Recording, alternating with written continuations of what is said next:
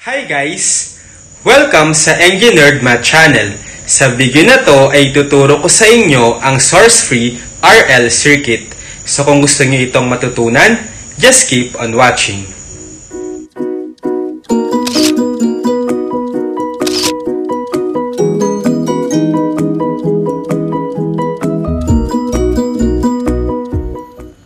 Okay, so meron akong naunang video about the source-free RC circuit kung saan dinerive natin yung voltage response doon sa source-free RC circuit which is wala siyang independent current or voltage source. So yung natural response lang niya ay base doon sa stored energy na sinupply doon sa initially charged na capacitor. So this time ay tuturo ko naman sa inyo ang source-free RL circuit. So pareho lang to doon sa source-free RC circuit. It's just that this time, kapag kinonsider natin yung resistor tsaka inductor, i-consider natin yung initial current doon sa inductor. So given this source-free RL circuit, we can find the KVL equation around this loop. So we have summation of voltage is equal to 0. So we have VL plus VR is equal to 0. And then, we know dun sa video ko about uh, the voltage across the inductor is equal to VL is equal to LDI over dt, right? So, we have LDI over dt plus etong VR is equal siya sa, using Ohm's law, I times R is equal to 0. Okay, so pwede natin i-divide both sides of the equation by L para maging form niya ay di over dt plus r over L i is equal to 0. By the way, kung i-define natin na yung initial current dito sa inductor or yung I of 0 natin dito sa inductor ay equal sa I naught, pwede natin magamit ito mamaya kapag sinolve natin yung current response doon sa inductor. So, Using this equation, differential equation, which is a separable one, uh, we can transpose R over Li dito sa kabila sa magiging di over dt is equal to negative R over Li. And then, pwede nating i-cross multiply itong dt sa taas tapos itong i sa baba. So, parang di over i is equal to negative R over L dt. Integrate natin both sides of the equation. We have integral ng di over i is simply ln i equals integral ng negative r over l dt ay simply negative r over lt and then plus c. Again, itong c ay solve natin using the initial condition na at t is equal to 0, i of 0 is equal to i naught. So we have ln of i naught is equal to negative r over L at t is equal to 0 plus c. So, therefore, we have, ito ay 0, c is equal to ln of i naught. So, therefore, we have the final form of the equation ln i is equal to negative r over lt plus ln i naught. So, transpose natin itong positive ln i naught sa kabila. So, parang ln i minus ln i naught is equal to negative r over lt. Or simply, ln, ito, apply natin yung quotient rule for logarithm. So, we have ln i over i naught is equal to negative r over lt. And then, gawin nating exponent to with base e both sides. So, maka-cancel tong ln, magiging i over i naught is equal to e raised to negative r over lt So therefore, I is equal to I naught e raised to negative r over lt or I of t.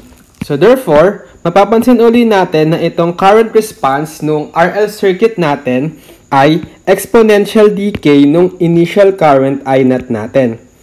Tapos, meron din tayong tinatawag dito na time constant or tau. So yung tau natin dito this time ay yung L over R. So, kung isubstitute natin itong tau na L over R, magiging I of t natin is I naught e raised to negative t over tau. Okay? So, itong time constant din natin na tau, siya yung magde-determine kung gaano kabilis mag-decay yung initial current natin. So, halimbawa, initially, ito yung current natin which nagsisimula sa I naught.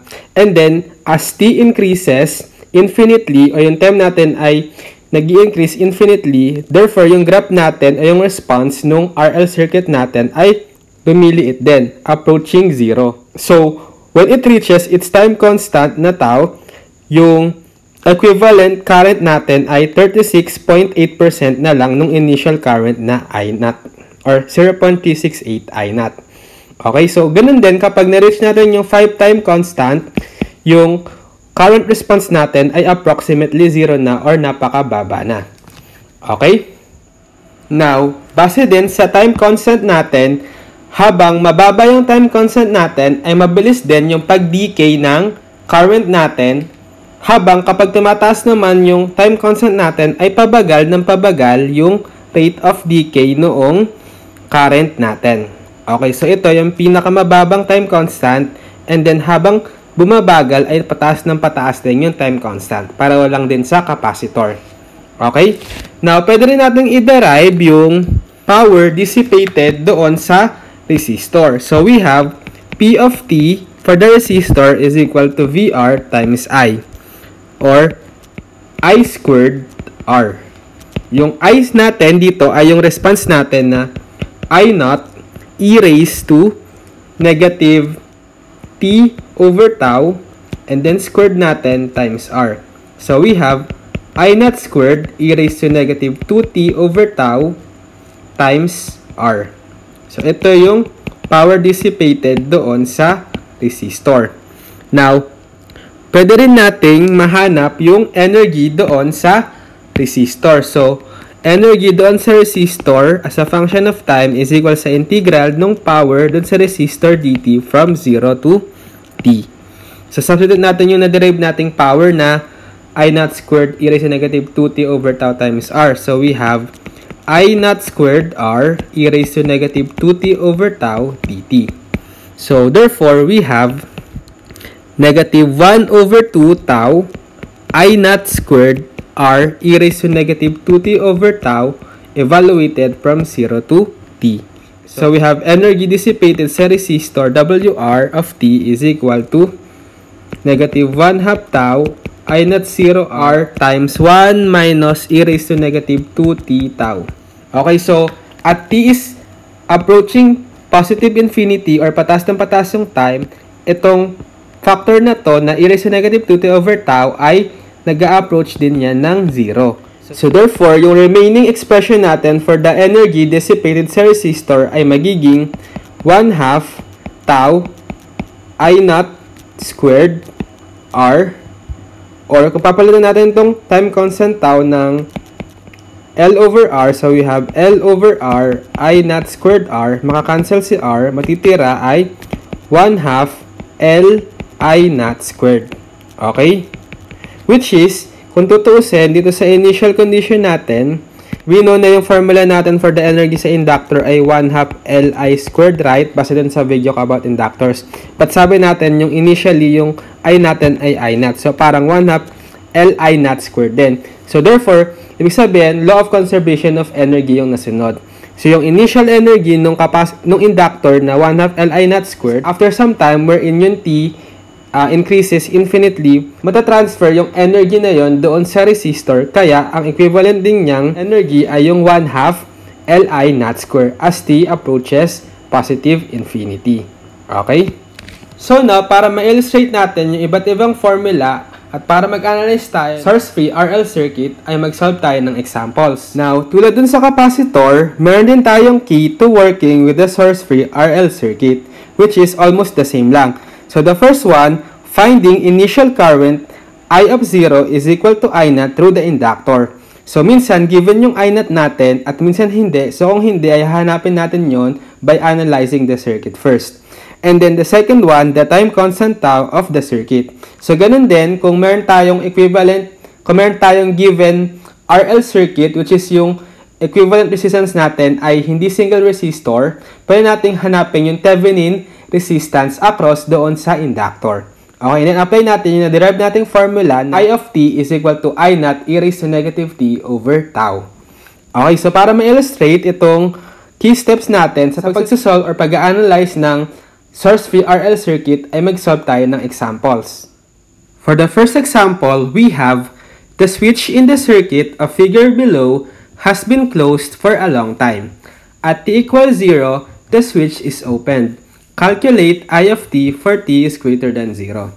Okay, so consider muna natin yung time at less than 0 bago yung t is equal to 0 kung saan inopen natin bigla yung switch. So at t is less than 0, naka-close daw yung switch. So therefore, since meron tayong DC supply, under DC, yung inductor natin ay short. Base dun sa video ko about inductors, right? So, equivalently, magiging circuit natin dito ay 40 volts, 2 ohms, 12 ohms, 4 ohms, 16 ohms, and then, shorted itong C inductor. Kasi nga, under DC, in a steady state condition, short C inductor. So, therefore, Etong circuit natin ay pwede pa nating ma-reduce as simply ito na yung C inductor. Parang yung 16, parang mababypass na lang kasi nakaparallel yung isang short wire. So, we have 2 ohms, 12 ohms, and 4 ohms. So, kailangan nating mahanap dito yung current doon sa inductor kasi gagamitin natin ito once na ma-open yung switch which is at time t is equal to 0. Kasi nga, kung ano man yung maging current at time t is less than 0 nung inductor, therefore, at time t equals to 0, yun pa rin yung magiging initial current doon sa inductor kasi nga, the current in the inductor cannot change instantaneously. Base dun sa video ko about inductors din. Okay, so, paano ba natin mahanap yung IL dito? So, consider natin itong parallel na 4 tsaka 12 ohm. So, simplify natin. So, for parallel resistor, yung formula niyan ay 4 times 12 over 12 plus 4 or simply 3 ohms, right? So, pwede natin i-write ito as 2 ohm and 3 ohm. So, equivalent ito ng, yung 3 ohm na to equivalent ng parallel 4 ohm tsaka 12 ohm, ha? 40 volts source. Now, pwede natin makuha yung total current using Ohm's law. So, IT is equal to 40 volts over yung sum nung resistance o yung RT, 2 plus 3. So, we have 40 over 2 plus 3 is simply 8 amps. Ngayon, ito yung dadaloy dito sa buong circuit, dito sa parallel combination na 3 ohms. So, therefore, pag binalik natin ngayon itong resistor into their form na parallel, gusto nating hanapin lang itong current dito sa 4 ohm kasi yun yung dadaloy dun sa uh, inductor, right? So using division, current division formula, we have IL is equal to kung ano yung hindi natin kino-consider na resistance, yun yung numerator over yung sum nung dalawang resistance. For, for two parallel resistors formula to, ah, base dun sa video ko about current division theorem. So we have 4 plus 12 and then yung total current I na nakuha natin which is 8 amps. So, therefore, yung IL natin ay 12 over 4 plus 12 times 8 or simply 6 amps. Ito yung time t is less than 0 pa.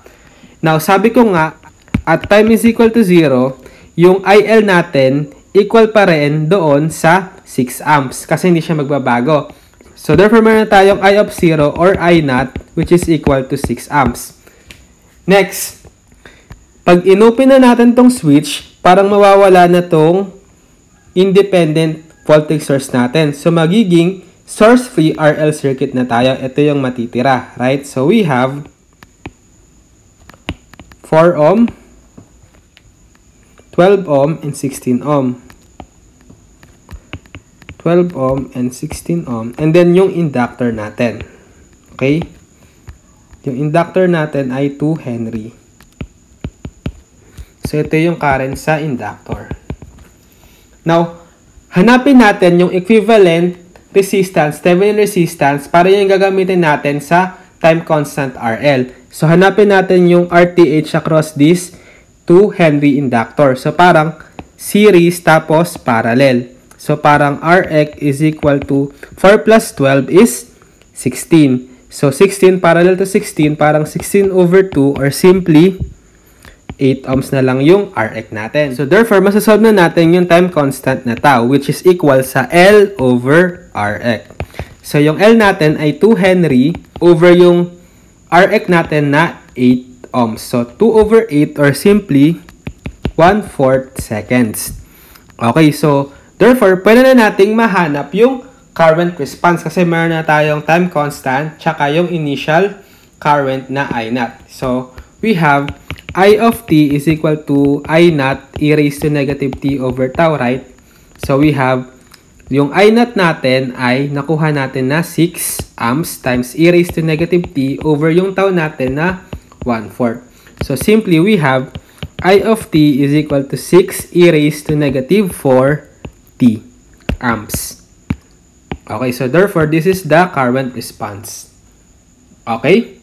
Okay, so ganun lang mag-analyze ng source-free RL circuit. So, para lang din siyang source-free RC circuit. So, dapat hanapin muna natin yung initial current dun sa inductor, I naught, as well as yung equivalent time constant first by finding the Thevenin resistance or equivalent resistance across doon sa inductor and then yung equivalent inductance din nung inductor. And then, after natin mahanap yung time constant or tau, pwede natin i-apply yung current response natin na I of t is equal to I naught e raised to negative t over tau. Okay, so that's it for this video. So sana ay may natutunan kayo sa video na to at maraming salamat sa panonood.